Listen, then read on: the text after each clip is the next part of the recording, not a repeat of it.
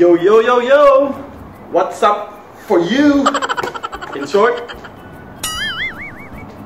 Yes. Alright. Welcome back sa vlog number 2. Ang pag-uusapan natin today ay ang mga movies na pinanood ko during the quarantine. Exciting. Diba? Pero, bago natin simulan yan, please, please, please like and share this link and also subscribe and hit that notification button. Yun na kung gusto nyo. Kung ayaw nyo, di wag. Diba? So, simulan na natin. Pagpatayan kita Topic for today is quarantine movies. Tama ba? Anyways. Okay, in no particular order. Baka sabihin nyo, nirarank ko yung mga movies. Hindi. Hindi to ranking, hindi to review, hindi rin to critic. Okay? Ito ay mga napanood ko lang. Mga napanood ko lang at pinanood ko dahil gusto kong panoorin. Walang pakialamanan. Basta, gusto ko panoorin. Okay? Sige. Alright. Ang first movie is Honey, 2003. Sino nakakalam nito? For sure, kukunti lang. Honey, uh, starring Jessica Alba. Ooh, happy! Alright, Jessica Alba plays Honey Daniels. Choreographer siya. She works in a bar, in a club, in a bar. And after ng shift niya, sa kanyang pagbabar, tending, she goes to the dance floor and, of course, dance. Just to let you know, mahilig ako sa mga dance flick. Marami na ako ng produga niya. Step Up, uh, definitely. Uh, the whole series, You've Got Served, uh, at marami pang iba, hindi ko na malala iba eh. Pero nagsimula ata ako sa You've Got, You've Got Served. Then after this, Honey. Yan. So, gagaling kasi ng sayaw. So, ang co-starring niya rito is si Mekhi Piper. Um, as her as his uh, as her boyfriend. Si Mekhi Piper tsaka si Jessica Alba for my own opinion ah, kasi kung na-prod yun na to baka meron kayo ibang opinion about about them. Para sa akin parang hindi uh, hindi sila bagay. Ewan ko. Kasi ang napipicture kong Mekhi Pfeiffer is yung during dun sa movie niyang 8 Mile. Siya yung ano eh, siya yung MC dun sa rap battle ni Eminem. So with the dread, you know. Pero dito kasi wala siyang dreads eh. Uh, parang manipis lang yung buhok niya. Pero, I mean, that's just my view. Parang hindi lang sila bagay kasi napakaganda ni Jessica Alba. Anyways, so, kaya ko lang siya napanood. Ah, kaya ko lang siya pinanood ulit. Kasi, hindi ko alam ha, yung performance o yung dance number nila, yung kanta, makes me emotional. Aww. Hindi naman umiiyak. Okay. Pero, maganda kasi nung kanta. Alam mo ko yung title ulit. Hmm, sige, papakita ko na lang dito. Pero, ganda kasi. Pero yung sayaw, mahusay. So, balik tayo. So, ano yung, ano ba yung nangyari? So, bartender siya. Tapos, naghanap siya ng work. Meron isang producer na nakita sa kanya. Producer ng mga rap artist. Rap, rap videos. So, isa na doon, isa na doon si Missy Elliott as, as the rap artist. Tapos yung isa si Jada Kiss. So, yung, yung white producer, kinuha siya to, produce, uh, to choreograph uh, videos, dancers on the videos. So nakuha niya. So obviously, siya yung tuturo, ganyan, ganyan, sumikat siya, kumita siya ng konti. Kaso syempre, merong nainggit, merong ano, may conflict. So, parang latter part of the movie, nag-decide siya na magtuturo na lang siya sa mga less fortunate uh, kids na gusto matutong sumayaw. So, ginagawa niya to, nagtuturo siya sa isang basketball gym. Tapos, doon siya nakakilala ni, ni Mekai. Yan. Well, ang ganda lang kasi talaga ni Jessica Alba. Tapos, napaka-sexy. Tapos, hindi ko na-expect na gano'n siya kagaling sumayaw. So, parang... Two punch, no? Sexy ka na, maganda ka na. Ang galing mo pa sumayaw. Three punches. Nakabibilang. Anyways, so, yun. And, not just it's because of, it's a dance flick. The reason why I watch Honey is, ito dahil sa kanya nga, ulit-ulit ako sexy, maganda, magaling sumayaw. Tapos after that, meron pa siya isang movie na lumabas. Surfer naman siya. So doon talaga, sun-kissed uh, tone yung kanyang Yes! So, yun. Next movie, number 2. Armageddon, 1998. Siyempre, you can never go wrong with the Bruce Willis movie. Diba? Bruce Willis, patok yan. Tapos sinamahan pa ng Liv Tyler. Ha, si Arwen ng Lord of the Rings. Actually, hindi ko siya nakakilala dun sa Armageddon. Actually, hindi ko rin siya napansin. Kasi, wala lang. Parang napakabata niya pa kasi. Uh, ko. Tapos nung ko yung Lord of the Rings, dun ko na-realize na sobrang ganda niya pala. Sana elf na lang siya forever.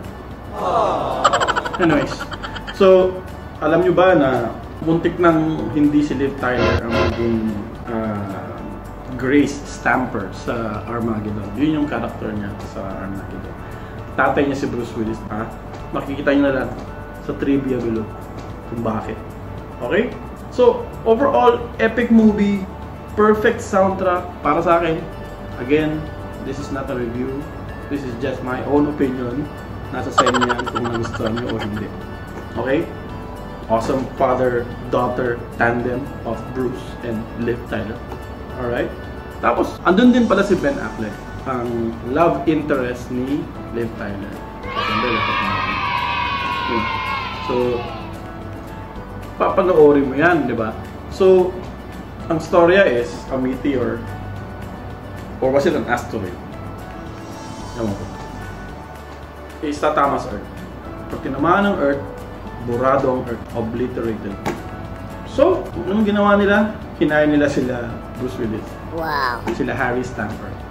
Sila Harry Stamper and his gang works as a drill oil drilling core uh, in, a, in a drilling rig company. Sige, kaya kaya.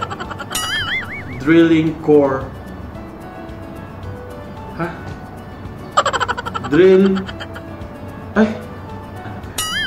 Okay. Relax. Mga drillers sila. Yeah. So, nag-drill sila ng oil to the Earth's core. So, imagine nyo, the plan was to hire them and then fly them to the rock, the meteor, or to the asteroid. And then let them drill there. Tapos, lagyan nila ng bombs yung ano, butas. And then, the idea is to, pag sumabog, mag-split yung meteor, tapos mamimiss yung Simple, di ba? Pero, simple yung pelikula. Pero in reality, parang napaka-imposible yata, no? Kasi pag sumabog yun, may mga maliliit pa rin yun. So, tatama pa rin sa Earth yun, di ba? So, parang 2012 ata yun. Ganun ba yung story nun? Anyways. So, but nevertheless, nagawa nila. Kaso nga na may casualty and you know who that is. Uh, spoiler alert to. Hindi pa Oh no! Siyempre si Bruce Willis. Kasi hindi nag-work ata yung automatic ano, ignition, uh, automatic trigger. So it has to be done manually. So someone has to stay on the asteroid or the meteor to click the button. Siyempre. someone has to be sacrificed. But this movie was the highest grossing film during 1998. And there was another film that was being filmed, uh, that was being made, Deep Impact. Well, in fact, the actual astronomer says that Deep Impact has the scientific accuracy. It's, so, it's much more accurately. Huh? Ba yan? Bulul-bulul ako. Deep Impact is scientifically much more accurate than Wow. Armageddon. My golly gosh. Pero, anyways, to each his own, mas gusto ko to dahil mas maraming sikat na artista. Di ko na maalala yung mga artista Deep Impact. eh. Siguro dapat panoorin ko na siya. Hmm, okay. So, and lastly, just to mention, yung theme song, Aerosmith, I don't want to a thing.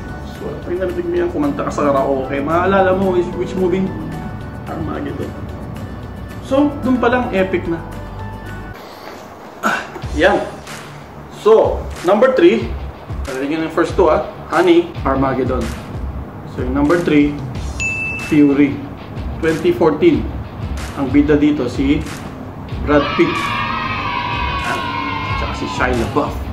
Shia LaBeouf yung sa Transformer. Yung kulot. Yung makulit. Brad Pitt, of course, kilala yan. Tsaka si ano, si Michael Peña. Yan. Si Michael Peña lumabas siya sa Ant-Man. Yung makulit na assistant ni Scott Lang.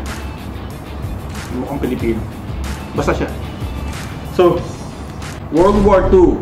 So gusto ko itong mga ganitong army ng uh, mga war movies, especially mga army, soldiers, this kind of stuff. And what's good about this movie is that dahil hindi dahil bida siya, mabubuhay siya. Katulad ni Bruce Willis, ending agad ako, no? Brad Pitt as uh, ang, ang, ang call sign niya dyan sa movie niya, is War Daddy. So lahat sila may call sign. Lahat naman nata ng mga sundalo may mga call sign. So si Brad Pitt is called War Daddy. Shia LaBeouf is called Bible. So from the Bible, mahilig siya mag uh, mag-quote ng verse. Especially para sa loob sila ng tangke. Si Michael Peña, si Gordo, ano siya, driver siya. Parang gunner, gunner ata si Bible si Shia LaBeouf. Si Gordo, si Michael Peña, driver.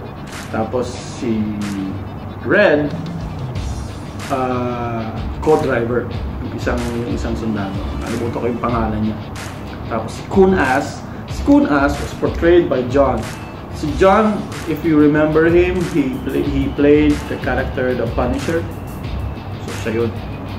You know, Kun As ang mga Um, tapos, eventually yung isang co-driver namatay. Pinalitan siya ng isang clerk typist. Hindi man lang talagang actual sa sundalo na lumaban na sa sa gera. And, yung Fury, yun yung pangalan ng tangke nila. Siya, So, wow. si Brad Pitt, parang inilagay siya dun sa team na yun para i-lead uh, yung mga soldiers through Nazi Germany. Tapos may mga sasagipin silang mga na-stranded na ibang sundalo. So marami silang tangke. Uh, they had to change the co-driver uh, Red kasi nga namatay. So pinasign sa kanila yung isang typist yung clerk. Of course, hindi naman marunong yun. So, on the job training, baptism of fire. But anyway, uh, so luman-luma na yung ano, luman-luma na yung mga tangke nila. Pagtugod sila sa laban, lahat puro tangke. So far, they gotten through enemy lang. And then they managed to meet up with their the other battalion, soldiers. Tapos parang nire-replena yung mga nasugatan. Kumbaga pumapalit sila marami sila. So, pumapat. So, sugod lang sila so, hanggang sa point na may nakatapat silang isang SS Tiger tank from the enemy. And this SS Tiger compared to their tank, kumbaga sa kotse, uh, yung dinadrive nila Brad Pitt, eh, Toyota Corolla. Okay? Tapos tong SS Tiger tank, BMW, na hindi pa tumatagos yung mga bala. So, even na tama, kahit tamaan nila yung tanke, yung kalaban, nagbabounce lang yung mga ano, bala. Ganun kagrabe. Tapos, sobrang bilis. Sila, napakabagal bagal. Mag-maneuver, ang bagal, mag-change ng, ng ang tawag dito, yung uso ng panira ng ano, tangke, di ko alam kung tawag dun. Uh, research ko na lang. Ang bagal din. So, by the time na makaliko sila, nakaiwas na yung kalaban. So, parang pitong tangke at namatay lahat yung aning. Tapos sila lang ang natira. Imagine mo. So, eventually, na-immobilize na nila yung Tiger tank. Parang nilagyan natin nila ng bomb. Tapos nakapagpahinga sila. Tapos onward na naman sila doon sa kanilang pupuntahan. And then, na-ambush sila. Ambush sila hindi dahil sa pinugot sila. Dahil tinamaan silang landmine. Tinamaan nila yung landmine, hira yung kanilang ano bang tawag. So, hindi ko alam ang tawag doon. Pero yung pinaka, pinaka, yun. Basta yun. Yun. Basta, kung alam nyo, tulad nyo na lang dyan sa comment section. Okay? So yun. So syempre, na-stuck sila. Kaya naman nilang ayusin. Kaso, pagkagabi na, tapos, dadaan na yung mga plato ng German. Syempre, na-stuck sila doon. So, ginawa nila, ginawa ni Brad Pitt, tinanong niya yung mga kaping. You wanna fight or you wanna surrender? Surrender in a sense na tatakas nila sila. Syempre, sabi ni Brad Pitt, ayokong iwan si Fury. Nalaban ako hanggang mamatay. Tumama rin sila. Ah, sila Gordo, Bible, Kunas, pati yung clerk. So, talagang pinlang sila. Uh, pinagtulong-tulungan sila. Tapos hanggang sa, alam mo yun, naubusan sila ng bala. Uh, tapos meron silang machine gun sa taas. Naubos din yung tinamaan si Brad Pitt. Hanggang sa talagang namatay sila lahat. Except for that clerk. He managed to slip out of the tank underneath. And then may hukay kasi yon dahil nga dun sa landmine. So, nagstay lang siya doon until, ano, lumagpas lahat ng mga German soldiers. Namatay na sila, bro. Namatay na sila. Siya na lang. Stay siya doon, nagtago. Actually, nakita pa siya. Kita pa siya ng, ng German soldier. Parang binaliwala na lang siya. Tapos, hindi rin sinabi ng soldier doon sa kanyang officer. So, madaling salita, nakaligtas yung clerk hanggang sa masagip siya ng mga American comrades. Well, at least ito, hindi ko nakitang mamamatay sila lahat at yung si, ano, si clerk. Kaya minsan gusto ko yung ganyan, yung lagi to talaga. So, hindi nakakasawang pan. Ah, magaling talagang artista rin sila. Parang si Bruce Willis niya, di ba? So, yung mga kalibre nila, mga pelikula na ginagawa nila, magaganda. Ocean's Eleven, di ba? Mga- So, kung di mo pa napanood yung Fury, panoorin mo. Maganda yan. So, hindi lang yan yung tipo ng, ng movie na ganyan. Meron pa, 13 Hours in Benghazi, yan, Black Hawk na. Marami pa. So, iba doon nabubuhay yung bida. No? So, yan yung pangatlo, pangatlong movie na panood. Ang next, ha? Pangapat, Avengers Endgame 2019. Of course, I have to watch it again. 3 hours and a half. In fact, sobrang excited ako. In fact, pinanood ko yung buong Marvel Cinematic Universe. Yung buong movie, lahat. Starting from Captain America hanggang in, uh, Avengers Endgame hanggang Homecoming. Ah, sorry, Far From Home is Spider-Man. Yun yung pinakahuli sa MCU. Pero syempre, yung endgame, endgame lang yung isi-share. So, as you can see, superheroes are my thing. Iron Man. Marami pang iba. Epic battle versus good and evil. Ha? Mga namatay na, nabuhay ulit. Tsaka, ang lupit kasi ng mga armor ni Iron Man. Diba? Yung nga lang, napakasad. Kasi nga, again, spoiler alert, pag hindi pa napapanood, eh namatay. Sacrifice ulit. Parang si Bruce Willis na naman, tsaka si Brad Pitt. Ano ba yan? So, pero, yung collection of superheroes kasi napakagaling. Siguro, hindi siguro tatagal ng 3 hours yun. Obviously, hindi tatagal ng 3 hours. Kundi sila nag-flashback. Pero kailangan pa rin yung flashback. Tapos that one moment, one thing that Doctor Strange did before this endgame during the Infinity War was sinabi niya na out of some million million isa lang yung isa lang yung possibility na mananalo sila at hindi pa niya sinabi. So, 'di ba parang alam na natin nung pupunta tayo sa Endgame na parang alam na natin na isa lang ang scenario na pwedeng mangyari na mananalo. Sa akin at the back of my head, parang alam ko na meron na sa sacrifice. At ang akala ko si Vision. Diba? Kasi si Vision ang pinaka, for me, isa siya sa pinakamalakas sa Avengers eh. I'm sure kaya niyang talunin si Hulk. Nabuhat nga niya yung hammer ni ano, Thor. Diba? Tapos nag-face siya. Basta, dahil na rin na sa stone. So, kaso parang sayang hindi siya nagamit. Yun lang yung medyo sayang naman. Pero anyways, ganun talaga. So, yung sacrifices at the end, Captain America passing the shield to Falco, given na yun eh. Kasi kahit sa comics talagang doon ang punta naman. Everyone was thinking it would be Winter Soldier. Hindi naman eh. Kahit sa comics hindi. Si Bucky hindi naman talaga siya. Tapos, sabi nila, Spider-Man yung magiging next Iron Man. Pero from the from the last uh, part of the movie, nakita mo naman doon yung bata, si Iron Lad. Tapos si Rescue, lumabas din. Yung Pepper Potts na ano, armor suit, say, di ba? Ang galing. Tapos yung anak, anak ni Scott Lang, magiging superhero din, si Statue. Stature. Yan. So, magkakaroon ng new Avengers most likely. Pero ang dami pa kasing nakaline up dun sa MCU universe. So, parang masarap subaybayan. Di ba? Tapos, yun. So, sabi ko nga, pinanood ko yung buong MCU universe at hindi lang yung isang ilang araw ko pinanood dyan. Sunod-sunod, ah, sawa yung mata ko. Ganda. Sarap panoorin. Nga lang, na-misplace ko yung order ni, ni Marvel. Mis- Ni Captain Marvel sa timeline. Dapat pala, mas nauna pa siya kaysa sa Captain America. Anyways, panoorin ko na lang ulit. Yun lang, so, para sa akin, in terms of movie sa superheroes, MCU is the best. DC, palpak sila parati eh. Sa movies ha. Pero, pagdating naman sa TV series, MCU sa Marvel, DC dominate. Kaya, ewan ko, mas malaki yata ang pera sa movies. So, yan. Ang, ang pang-apat na movie ko. Siyempre, sasave ko yung pang-5. Yung pang-5 maganda. Okay? Yun. Last but not the least, number 5. Tears of the Sun, 2003. And guess who? Another Bruce Willis movie. Siyempre. Tsaka, sundalo na naman. Sabi ko sa inyo, may ligaw ako sa mga sundalo. Especially, lalo pag may Bruce Willis na. Tulad nung, kahit cameo lang siya dun sa G.I. Joe, galing pa rin, di ba? Dun sa Red. Retired na sila, pero galing pa rin. So, Tears of the Sun, hindi ko sure kung kung ano siya eh, kung totoong storya sa Nigeria. Think of it. Anyways, so ang ang storya is, so kababalik lang nila galing sa isang mission. Tapos di pa nga sila nakapagpahinga. Kakananding pa lang nila dun sa, meron na sila agad bagong mission. So ang mission nila is to to save this foreign national na nasa Nigeria, ng doktor, dalawang nurse, at isang pare. Pero ang priority lang nila is yung doktor na babae. Yung tatlo, optional.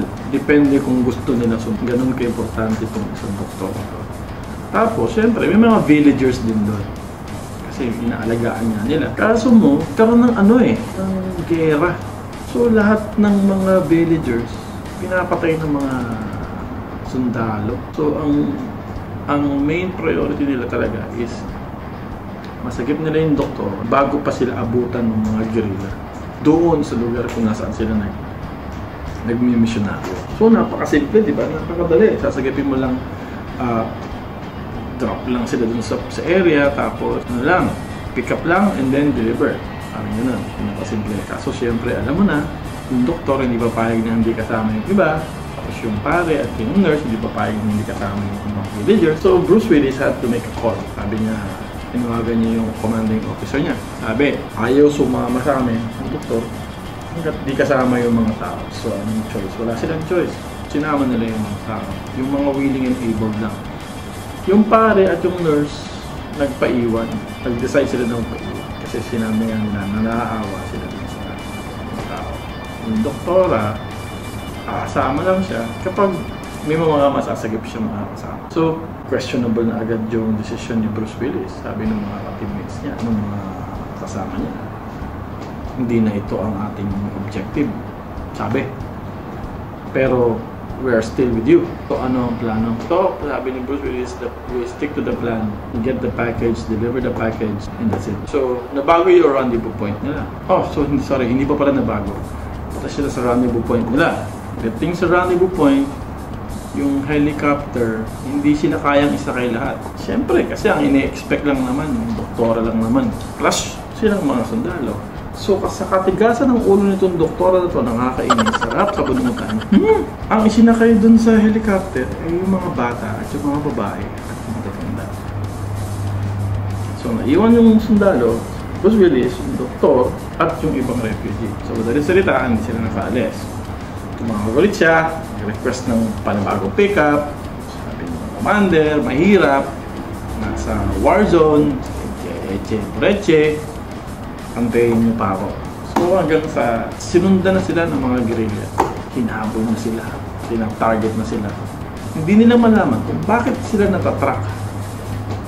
Only to find out na isa dun sa refugee na kasama nila is anak ng presidente. Presidente ba o hari? Presidente. Di hari, king.